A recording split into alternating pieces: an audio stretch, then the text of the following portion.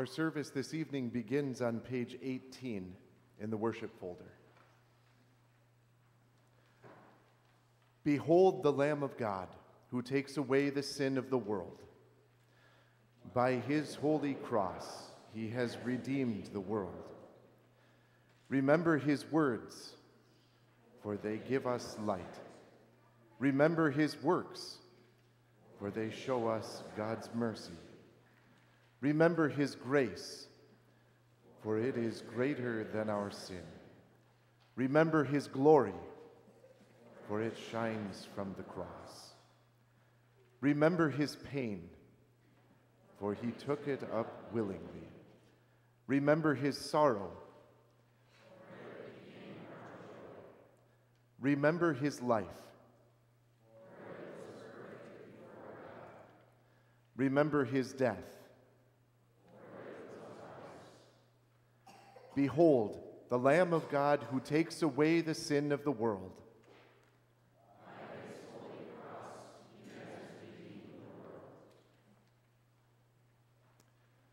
Ephesians chapter 2. You were dead in your trespasses and sins, in which you formerly walked when you followed the ways of this present world. You were following the ruler of the domain of the air, the spirit now at work in the people who disobey. Formerly, we all lived among them in the passions of our sinful flesh as we carried out the desires of the sinful flesh and its thoughts.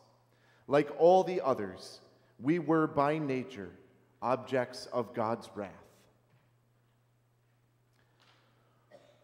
Holy Lord God, holy and mighty, holy and immortal, have mercy on us.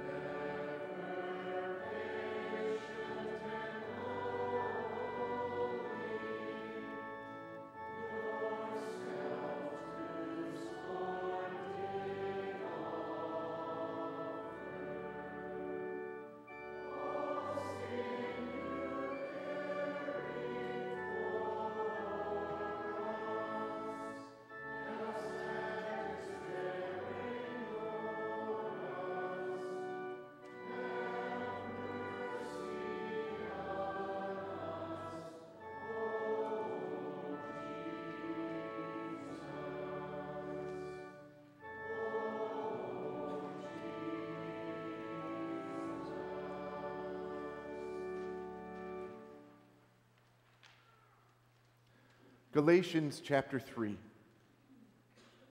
In fact, those who rely on the works of the law are under a curse. For it is written, Cursed is everyone who does not continue to do everything written in the book of the law. Holy Lord God, holy and mighty, holy and immortal, have mercy on us.